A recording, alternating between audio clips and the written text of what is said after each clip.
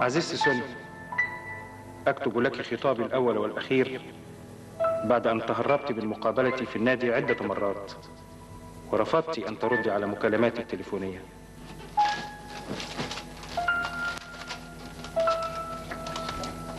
إيه؟ مالك يا سلوى؟ في إيه؟ ابدا مفيش إيه ده؟ أرجوكي أرجوكي يا ماما بلاش تقري الجواب ده. ليه؟ في إيه؟ نادية سلوى يلا عشان نروح سينما أنتوا لسه ما لبستوه؟ في إيه يا سلوى؟ في إيه يا نادية؟ ابدا مفيش حاجة. دي سلوى عندها شوية مغص. يعني مش هتقدر تروح السينما؟ لا هتروح. أنا اديتها دواء وهتروح حالا. طب يلا ده أحسن. إحنا يا دوبك هنلحق الفيلم. الله. ده لسه بقول لك إن إحنا هنتأخر على بعد السينما معلش بلاش أنا. روح مع سلوى واسامه أرجوك خليكي طبيعية قدام ولادنا اليومين دول لغاية ما تعدي فترة الامتحانات دي على خير. إحنا مش اتفقنا؟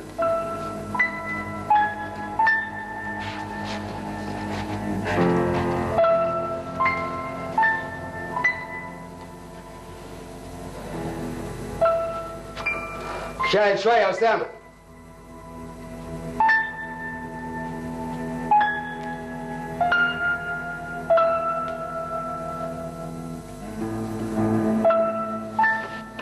هي يا حلو.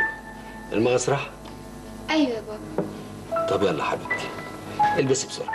حاضر يا بابا.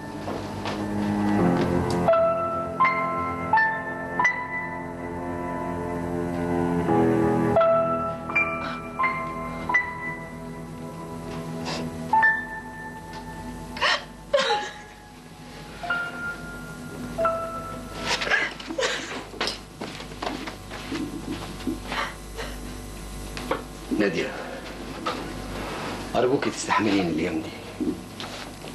أنا تعبان تعبان قوي ومحتاجك جنبي. اديني الفرصة عشان أحكي لك على كل حاجة. كل حاجة كل حاجة. ده وعد مني. وامتى هتقولي لما أقدر أرد على السؤال اللي محيرني. سؤال إيه؟ هقدر أبتدي من جديد. من جديد؟ أيوة. صدقيني يا نادية أنا أنا عايز أعمل حاجات كتير. بس ما بقدرش. في حاجات أنا مقتنع بيها بعقلي لكن لما أجي أنفذها ما بقدرش. حاجات زي إيه؟ أرجوكي إديني فرصة عشان أقدر أحكي لك على كل حاجة. أحكي لك ليه أنا اشتغلت عند أدم؟ وليه لازم أسيب أدم؟ وليه وقت الجد؟ ما بعرفش أخلص من أدم. لا يا مراد لازم تسيبه. لازم تسيبه نهائي. أنا حاسة إنه كابوس وكاتم على حياتنا. سور وفاصل بينا زي ما انت قلتي. صدقني أنا اللي تعبني إني حاسة إنك تعبان ومش عارفة من إيه. هانت هانت يا حبيبتي كلها أيام وأخلص من أدم يا ريت يا مراد يا ريت يلا روح يلا عشان نلحق السينما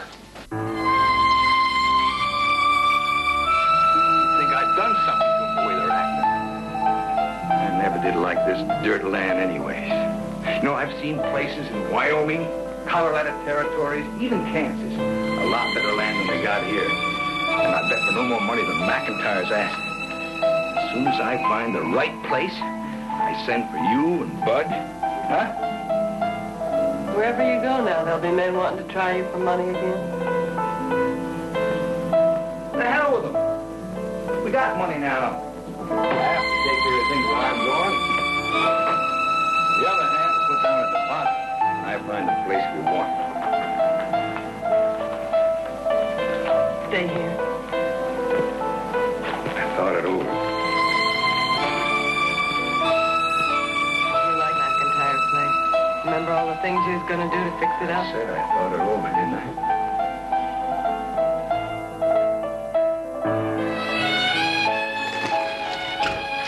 يا سلام الليلة دي بس حاسس اني هنام الليلة دي بس ما اخبيش عليك يا ناديه أنا بقالي ثلاث أيام ما شفتش النوم وأنا كمان يا مراد. بقالي ثلاث أيام ما نمتش. آه.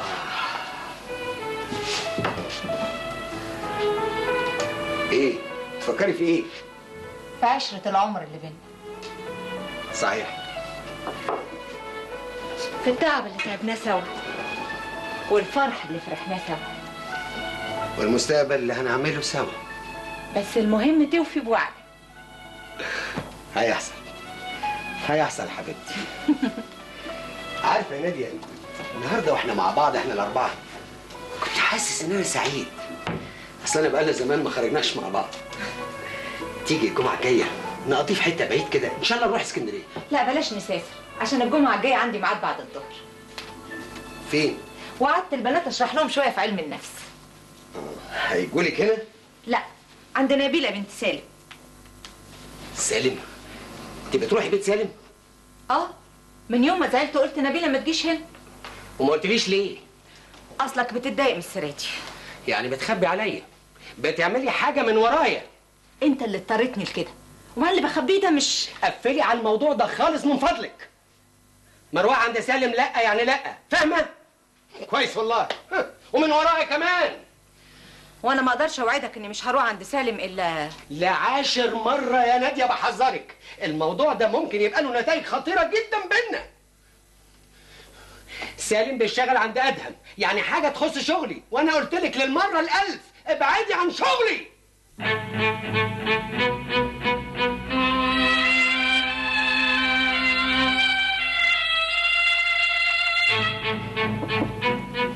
صباح الخير يا أبلة. أهلا يا سناء مالك؟ صفية يا أبلة مالها في حاجة؟ مامتها حبسها في أوضة ورافضة تخليها تيجي المدرسة خالص. ليه؟ معرفش. أنتي مش رحت لها زي ما قلت لك؟ مامتها رفضت تخلينا نخش لها واضطرينا نمشي بعد خمس دقايق. وكنا مكسوفين قوي وقالت مش عايزة حد يسأل عن الموضوع سنة ده ممكن يبقى له نتائج خطيرة جدا بينا وعشان كده جيت أقول لحضرتك. إيه رأيك؟ طيب يا سناء أنا حابة أروح معاكي بس بلاش النهارده. حاضر يا أبلة عن أيوة يا أبلة قولي لنبيله تبقى تفوت عليا. حاضر.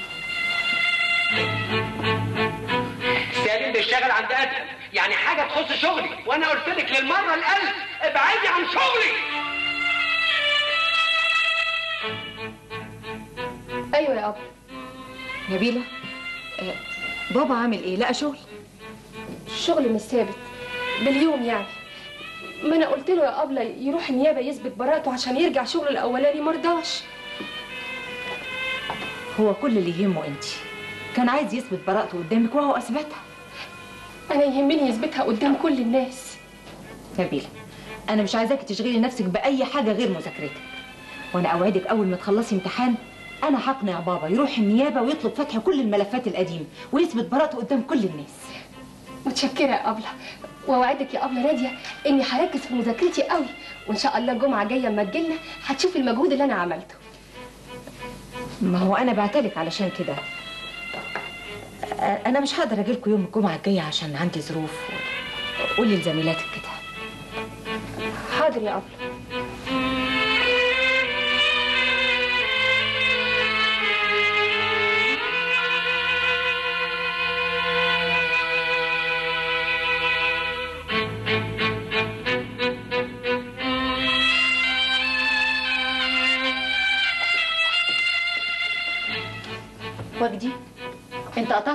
ورجعت المدرسة؟ لا أنا جاي لك مخصوص. جاي لي أنا؟ أأكد معاك يوم الجمعة. يوم الجمعة؟ إيه نسيتي؟ كنت نسيت فعلا. معلش ميعادنا إن شاء الله يوم الجمعة في النادي. آه أيوه بس لو سمحتي ما فيش داعي حد يعرف إني جاي لك النادي. حد حد زي مين؟ زي فوزية. عن اذنك اتنين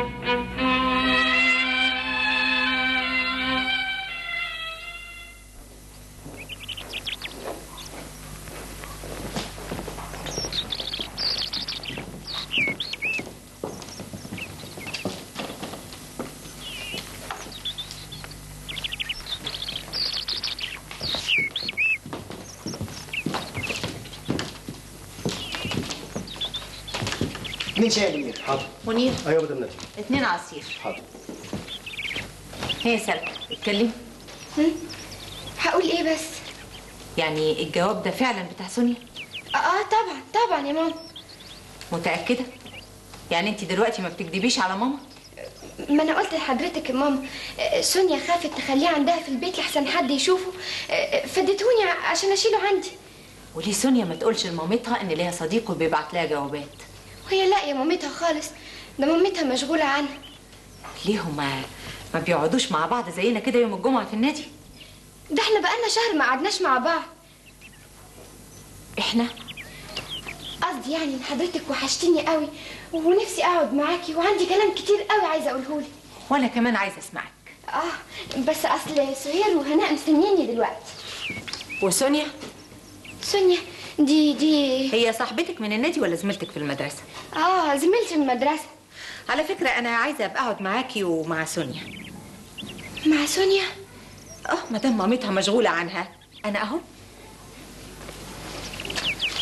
آه، يا سلمى استني ما تسلمي على الأستاذ وجدي مين الأستاذ وائل زميلي في المدرسة. أهلا وسهلا. أهلا.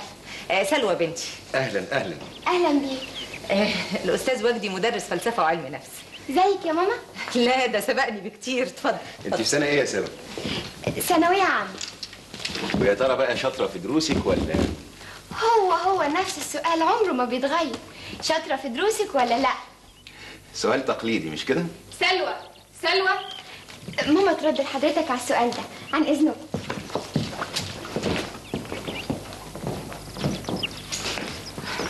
مش عايزة تحس إنها لسه صغيرة. ده إحساس طبيعي عند كل البنات اللي في سنها. سن خطر ربنا يستر. بس بصراحة ما كنتش أعرف إن عندك بنت أمورة كده. كان نفسي تشوف أسامة ابني كمان بس يا خسارة عنده مواعيد النهاردة. أكيد هشوف. تشرب إيه؟ قهوة مظبوط. منير؟ أيوه يا فندم. فنجانين قهوة مظبوط. حاضر. بتيجي النادي هنا كتير؟ كنت باجي كتير. والأيام دي؟ بقيت مشغولة بحاجات كتير. زي إيه؟ إحنا مش اتفقنا النهاردة أنت اللي تتكلم وأنا أسمعك. أيوه بصراحة فعلا أنا عايز أتكلم. بس بصراحة. بكل صراحة لأن أنا اللي محتاج أتكلم. اتكلم يا وجدي. فردوس. مين فردوس؟ بنت خالتي. حبيتها وهي لسه صغيرة. فردوس أصغر مني بست سنين رقيقة وطيبة و- وذكية جدا كمان. زمان كنت أديها الكتب بعد ما أقراها وبعدين نتناقش فيها سوا. أه، كنت دايما أشجعها يكون لها رأيها وفي شخصيتها المستقلة. وبعدين؟ تضحكي ليه؟ كمل يا وجدي. أنا عايزة أسمعك. بس ما تنساش إحنا اتفقنا على الصراحة. الصراحة إن فردوس سمعت كلامي. كل كلامي. لدرجة إنها أصبحت دلوقتي التلميذة اللي اتفوقت على الأستاذ. لما بسمعها تتكلم ببقى مش مصدق. دي العيلة الصغيرة اللي كنت بعلمها اللي ما كانتش تخطي خطوة من غير ما أقول لها أنا إزاي تخطيها. دلوقتي دلوقتي بتناقشني الند للند. عظيم. طبعا أنت فرحان بيها عشان أرائك وأفكارك جابت نتيجة. المفروض طبعا نفرح بيها بس بصراحة أنا أنا ابتديت أخاف. تخاف؟ من أي خطوة تخطيها فردوس لقدام أكتر من كده؟ مش معقول. هو إيه اللي مش معقول؟ الكلام اللي سمعته منك بيقول غير كده. عشان كده أنا جاي لك. جاي لك عشان أقول لك اللي مش قادر أقوله لنفسي. اتكلم يا وجدي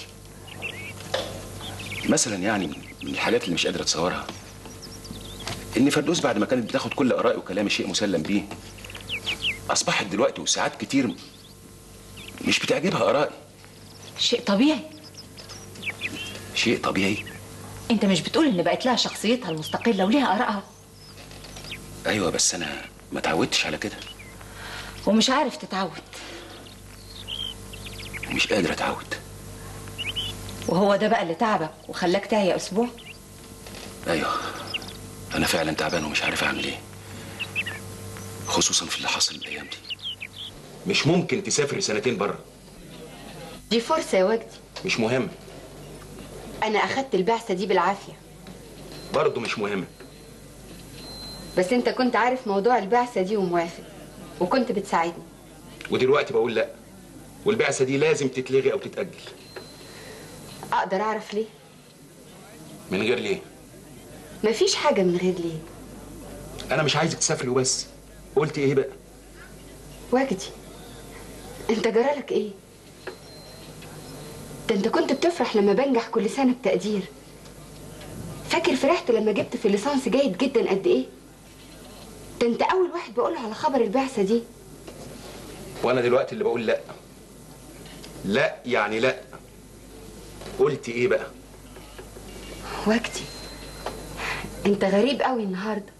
لا مش انت وجدي اللي عرفته مش وجدي اللي فتحت عينيا عليه. أيوه اظهري على حقيقتك. ما خلاص كل مناقشة بينا تقولي لي انت مش وجدي اللي عرفته واللي فتحت عينيا عليه.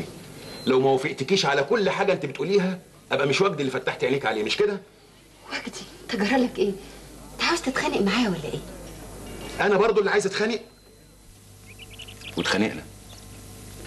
وبقالنا أسبوع ما بنشوفش بعض. واللي مجنني إني عرفت إنها ماشية في إجراءات البعثة. وجدي أنت عايز تتجوز فردوس؟ طبعا. أمال إيه سبب الأزمة اللي أنا عايش فيها دلوقتي؟ سبب الأزمة إنك ما أنتش عارف أنت عايز إيه بالظبط. أنت اتنين يا وجدي اتنين؟ أيوة. عايش بعقليتين. عقلية متطورة بتقولك إن مراتك لازم يبقى لها شخصيتها وآرائها. وعقلية تانية مسيطرة عليك بتقولك لازم أنت تبقى القوي المسيطر. لا لا لا. أنا ما اتصورش إن مراتي تكون من غير شخصية أو مجرد تابع ليا. وإلا كنت اتجوزت. فوزية مش كده؟ مع ذلك أنت ما قلتلهاش إنك مش عايز تتجوزها. سايبها معلقة وأنت مبسوط. مش كده؟ أنا عمري ما وعدتها بالجواز. أنا أنا عارفة. وفي نفس الوقت ما أنتش عايزها تتجوز. أنت عايش بعقلك الأولاني مع فردوس. وعقلك التاني. سعيد قوي بسيطرته على فوزية. فرحان بضعفها قصادك لا لا لا. الحكاية مش بالشكل ده ابدا. وجدي أنت عايز رأيي مش كده؟ وأنا بقولك بصراحة إن أزمتك مش هتتحل إلا لما أنت تعرف أنت عايز إيه بالظبط. عايز تعيش مع مين فيهم بالظبط؟ فردوس ولا فوزية؟ عايز فردوس طبعا. عشان كده لازم تقبلها زي ما هي. وأوعى. اوعى يا وجدي تخليها تتحول لفوزية. لأنك يوم ما هتشوفها زي فوزية مش هتحبها هتعطف عليها بس زي ما بتعمل مع فوزية. لا يمكن. فردوس غير فوزية نهائي وأنا بحب فردوس. يظهر ان إن الحب بيخلي الإنسان ضعيف. ده مش الحب دي الثقة. أيوة أنت محتاج لشوية ثقة. طول ما كانت فردوس بتاخد المعلومات منك بتبقى مبهورة بكل كلمة أنت بتقولها. كنت سعيد قوي بسيطرتك عليها. لكن أول ما ابتدت تفهم ابتدت يبقى لها آرائها ابتديت أنت تخاف. ما بالك بقى لما تسافر وتعرف حاجات جديدة؟ مش هي دي المشكلة؟ صعب صعب. الكلام اللي بتقوليه ده صعب. أنا عارفة إنه صعب بس هي دي الحقيقة. وزي ما قالت فردوس مش أنت وجدي اللي هي عرفته وفتحت عينيها عليه. وأنا رأيي إن موقفك ده ممكن يضيع منك فردوس. فعلا. وده اللي أنا خايف منه. وجدي روح لفردوس وسيبها تسافر بعثتها وما تخافش. نادي أنا أنا مش عارف أقول لك إيه. رغم إني تعبت قوي وأنا بسمع كلامك لكن كان لازم حد يقول لي ده. والظاهر الظاهر إنه صعب فعلا إن الواحد يواجه نفسه. لكن صدقيني صراحتك ريحتني. وفوزية يا وجدي هتسيبها كده؟ لازم تصارحها. مهما كانت المواجهة صعبة أحسن كتير من الموقف اللي هي فيه. أوعدك يا نادية ومن بكرة هكون صريح معاها في كل حاجة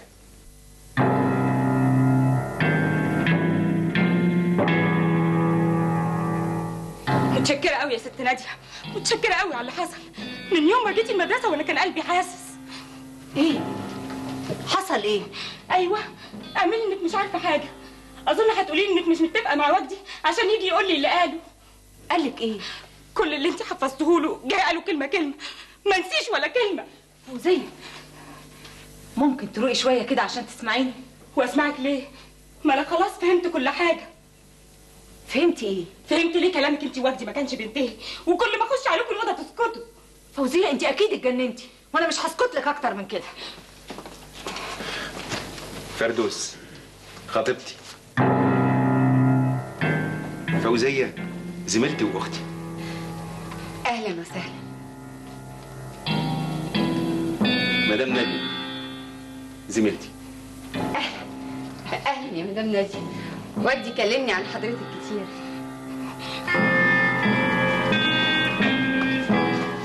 اتفضلوا استريحوا عقبال ما اطلب حاجة ساقعة.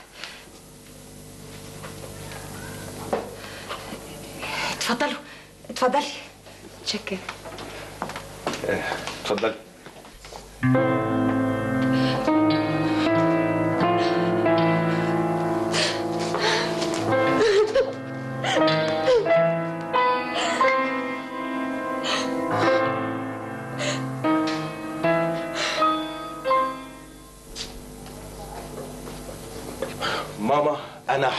هقع من الجوع. الساعة أربعة وسلوى لسه ما جاتش لغاية دلوقتي. إيه ده معقولة ما جاتش لغاية دلوقتي؟ عمرها ما اتأخرت بالشكل ده.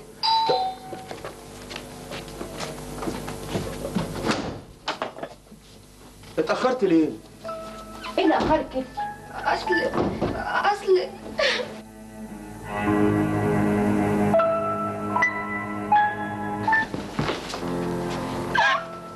إيه سلوى؟ مالك؟ في إيه اتكلمت؟ قبل كملي عايزة حضرتك. مين قبل كملي الاخصائيه الاجتماعيه بتاعتنا في المدرسة. عايزاني أنا؟ أيوه. ليه؟ حصل منك إيه؟ روحي لها حضرتك واعرفي منها كل حاجة. أنا عايزة أعرف منك انت الأول. ولا حاجة. ولا حاجة يا ماما. أنا مش هروح لابله كاميليا لما أعرف منك الأول هي عايزاني ليه. عشان علشان عشان إيه يا سلوى؟ اتكلمي. نادية سلوى. يلا أنا عايز أكل وأنزل على طول. أنا خلاص وقعت من الجوع أرجوك يا ماما. أوعي تقولي لبابا. طب غيري هدومك وتعالي اتغدي.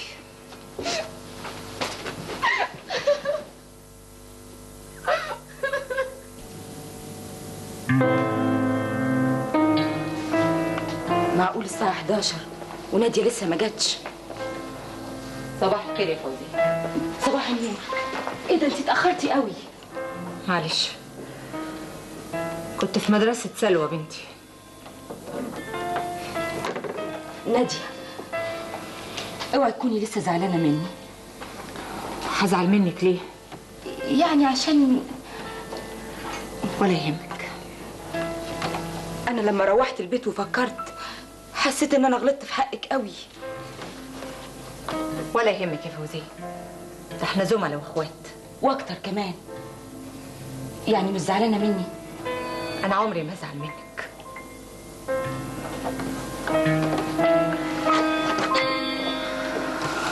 أمال مالك؟ قبل نادية. ست نظرة عايزة حضرتك. طيب أنا جاية حالا. حاضر. نادية اوعي تكوني لسه زعلانة مني. صدقيني يا فوزية أنا مش زعلانة منك. أمال مالك؟ مش عادتك؟ مفيش.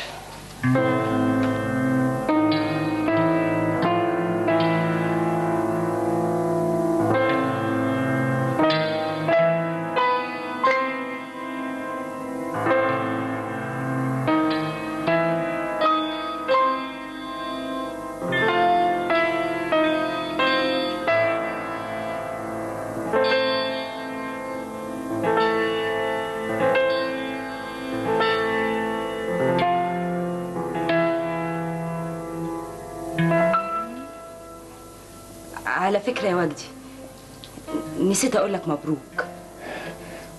متشكر.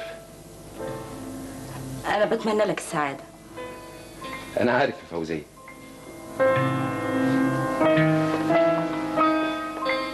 وجدي نادية جاية النهاردة مش طبيعية خالص.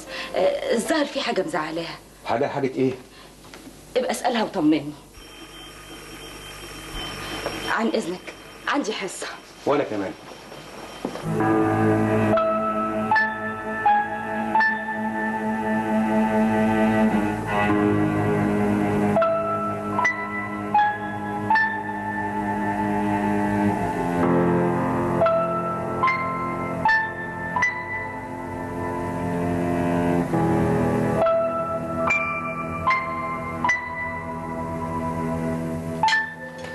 سلمى ما كلتيش خالص؟ ماليش نفس يا بابا. بنت مالها ابدا. يظهر إنها بتتعب في المذاكرة اليومين دول. وعشان كده لازم تتفرغي لها شوية. فرغ لها إزاي يعني؟ البنت محتاجه لك يا ناديه امتحانات قربت ومش بس كده. أنا حاسس في المدة الأخرانية دي ان إن البنت مش طبيعية. ابدا. سلوى كويسة وبتذاكر كمان. سلوى في ثانوية عامة. ومش بس لازم تنجح لازم تجيب مجموع كمان. وان جت على انك تاخدي اجازة عشان خاطر بنتك خدي اجازة. وهو ده اللي مزعلك قوي كده من امبارح. أنا اللي مزعلني حاجات كتير لكن موضوع سلوى ده غطى على كله. نادية هو إحنا مش زملاء؟ ومن حقنا على بعض نسأل بعض مالنا؟ طبعا. طب مالك الأيام دي مش طبيعية ليه؟ أصل أصل في حاجة تانية مزعلاكي غير موضوع سلوى؟ لا. طيب طيب. هو موضوع سلوى مزعلك ليه بالظبط؟ أنا أنا يا وجدي أقعد قدام الأخصائية بتاعت بنتي وتديني دروس في التربية السليمة. ليه؟ حصل إيه؟ موضوع بايخ كده. سلوى اتخانقت مع واحدة زميلتها قال قال قال خدت منها صاحبها وكلام بايخ كده محدش يصدقه. وليه ما نصدقوش؟ انت بتقول إيه يا وجدي سلوى بنتي تعمل كده؟ إمتى؟ وأنا ما أعرفش. طب ده أنا اتخانقت مع الأخصائية بتاعتها وقلت لها البنت اللي اتخانقت معاها دي قليله الأدب ولازم تأدبها وتوقفها عند حدها. عارفة يا نادية انت فكرتيني بمين؟ بأم حورية. أنا؟ أنا أم حورية؟ ما أقصدش. بس وأنت بتدافعي دلوقتي عن بنتك فكرتيني بيها وهي بتدافع عن بنتها. يعني إيه؟ سلوى زي حورية؟ مؤكد لا. بس برضه ام حوريه كانت متصورة إن بنتها مش ممكن تغلط وإن اللي أكيد غلطان البنات التانيين. وجدي أنت بتقول إيه؟ أنت بتهزر؟ أنا ما بهزرش. أنت ليه مش متصورة إن بنتك ممكن تغلط؟ ليه بنطلب من ولادنا يعملوا الصح بس؟ إذا كنا إحنا كبار ساعات كتير بنغلط يبقى الصغيرين. أنت بتتكلم زيها؟ زي مين؟ الأخصائية بتاعت سلوى. يبقى كلامها صح. صح؟ هو إيه ده اللي صح. ده أنا طول عمري بفهم سلوى إيه الصح وإيه الغلط ومع ذلك غلطت. عشان كده أنا لا يمكن أفوت لها الموضوع ده على خير. لا يا نادية مش أنت اللي تعملي كده. أمال أعمل إيه؟ الحنان مهم قوي في المواقف اللي زي دي. حنان؟ حنان إيه؟ ده أنا حتى مش عايزة أشوف وشها. برضه مش أنت اللي تعملي كده. أمال أعمل إيه؟ أعمل إيه بس؟ زي ما عملت معايا. أنت ناسية إنك اديتيني الأمان وخليتيني أفتح لك عقلي وقلبي وأقول لك على كل حاجة. ظاهر إن الواحد منا بيعرف يحل مشاكل الناس لكن مشاكله هو لأ.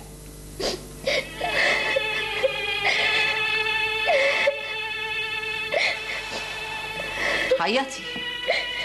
عيطي كمان لغاية ما تفوقي عشان نعرف نتكلم.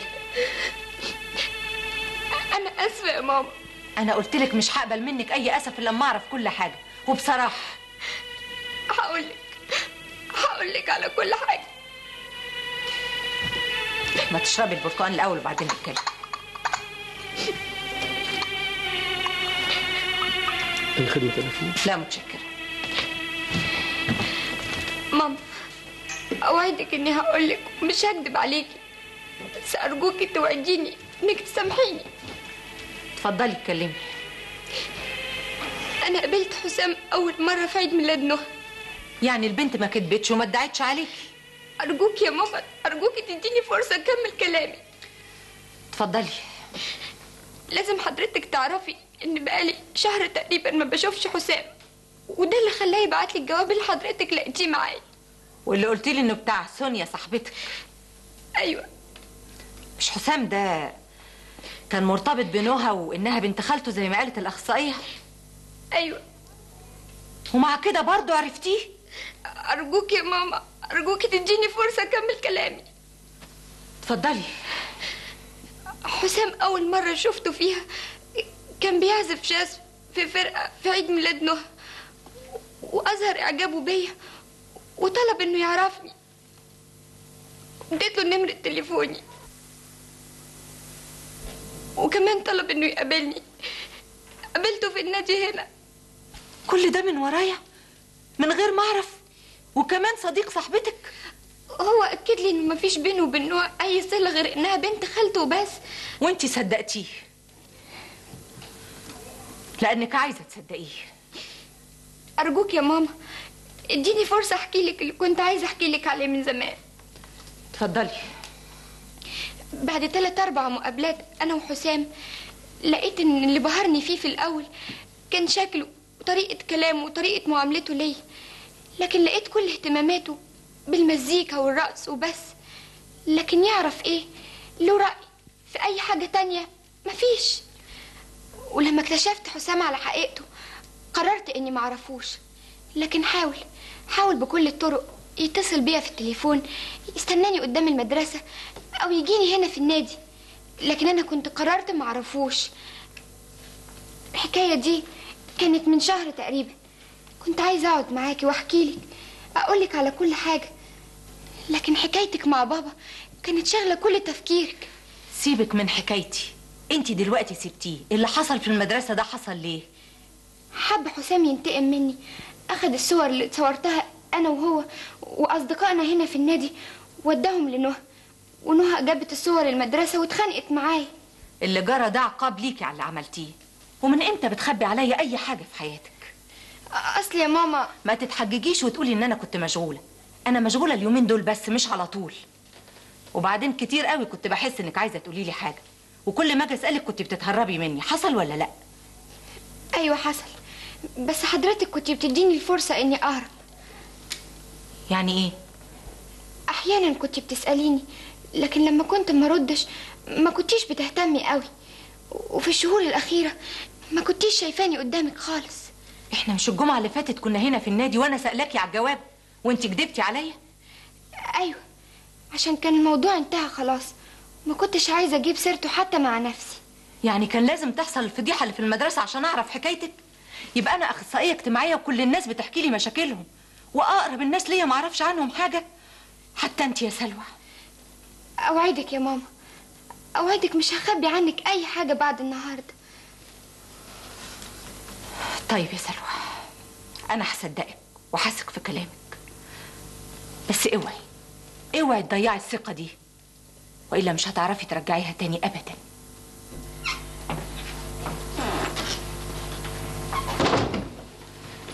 مساء الخير يا أسامة. مساء النور يا ماما. ماما حضرتك عايزة حاجة ولا أدخل أذاكر؟ لا خش انت وأنا هحصلك. سلوى أنا عايزك في حاجة مهمة. حاجة إيه؟ لو سمحت يا ماما ده موضوع بيني وبين سلوى. في إيه ماما سلوى دي مش أختي؟ طبعا يا حبيبي. خلاص في موضوع عايز اكلمها فيه دلوقتي.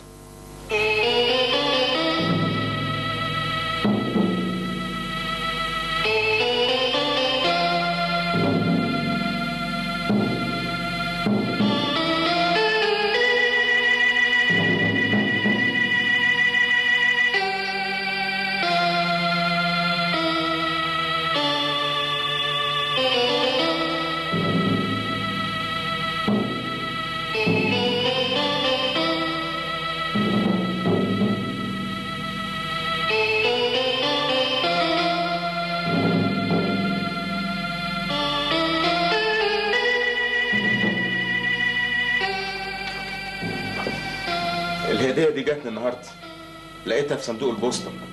ومعاهم جواب مش ممضي. أنا فكرت إني أخبيهم أو أقطعهم أو أديهم لماما أو لبابا. لا أرجوك أرجوك يا أسامة بلاش تقول لي بابا.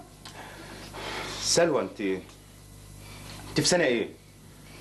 تالتة ثانوي. يعني السنة الجاية هتخش الجامعة. هتدخلي حياة جديدة و... وهتدخلي عالم جديد. وهتعرفي ناس جداد. وهتعرفي حاجات كتيرة انت لسه ما تعرفيهاش. يعني ما تستعجليش. انت لسه صغيرة على اللي حصل ده. وعشان كده غلطتي. واتصرفت من ورانا كلنا. رغم ان كلنا كنا مدينك الثقة. وكنا حاسين انك قدها. أنا آسفة. اتأسفي لنفسك يا سلوى. ما تتاسف لناش إحنا. أنا فعلا آسفة. اسفه على كل اللي حصل مني.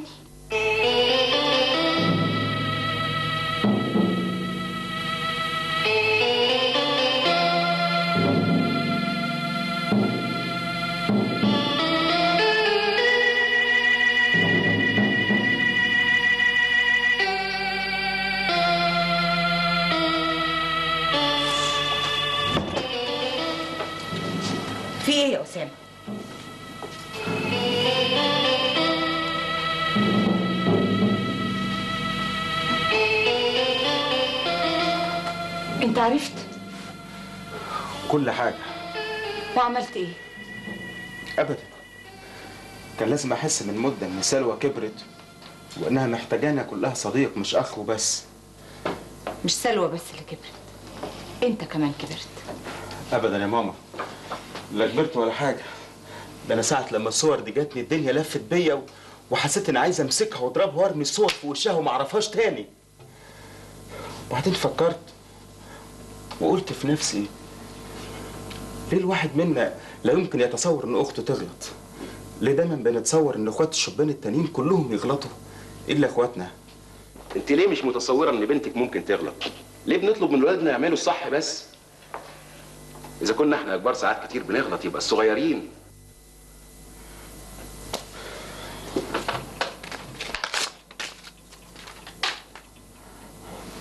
ماما ما ردتيش عليا يعني في موضوع عبير. معلش يا أسامة. أصل حكاية سلوى دي لخمتني على الآخر. وكمان علشان أروح لمامتها لازم مراد ياخد خبر. طيب وده في إيه؟ أصل أنا ومراد مراد جه. روح شوف إذا كان عايز يتعشى.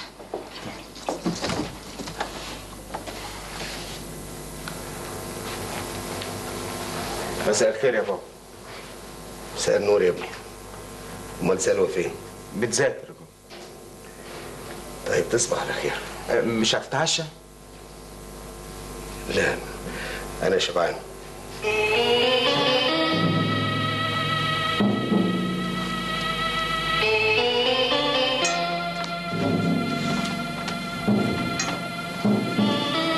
هو إيه اللي حصل تاني؟ هقول لك. بس المرة دي أنا مصممة.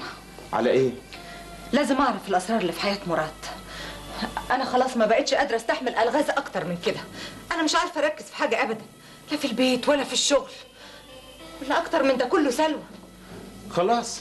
يبقى تحصري عمي مراد وتصري إنك تعرفي منه كل حاجة وتخليه يسيب أدهم مهما كان الثمن لا ده طريق مسدود. أنا مش هفتحه في أي موضوع يختص بشغله ولا بأدهم. أمال هتعرفي إزاي؟ أنا هدور بنفسي.